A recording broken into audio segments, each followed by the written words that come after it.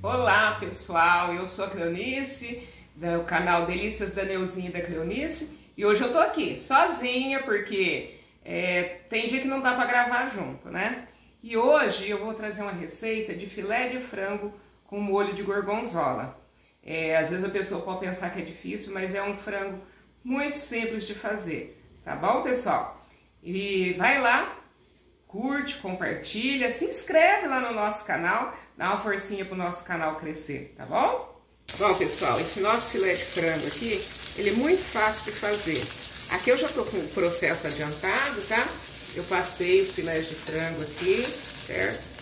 E agora, nessa panela aqui, nesse fundinho aqui, eu vou colocar o queijo gorgonzola.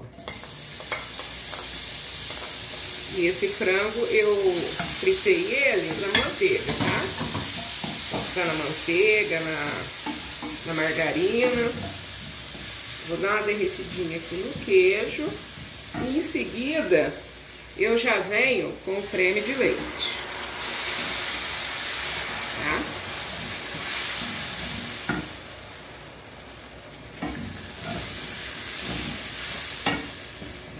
Desmanchando aqui o gorgonzola.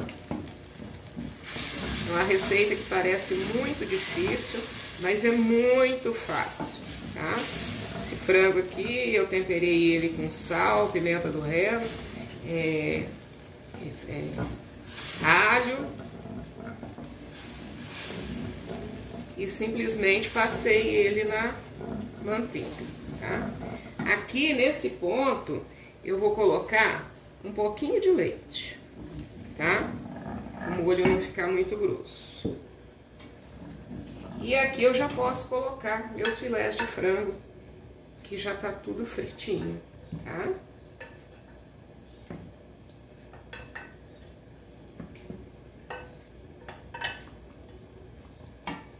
E esse caldinho que sai aqui, a gente pode aproveitar e jogar aqui, tá? Que só vai agregar mais sabor ao nosso frango, tá? Aqui nós vamos deixar ferver por uns 3, 4 minutinhos e tá pronta a nossa receita.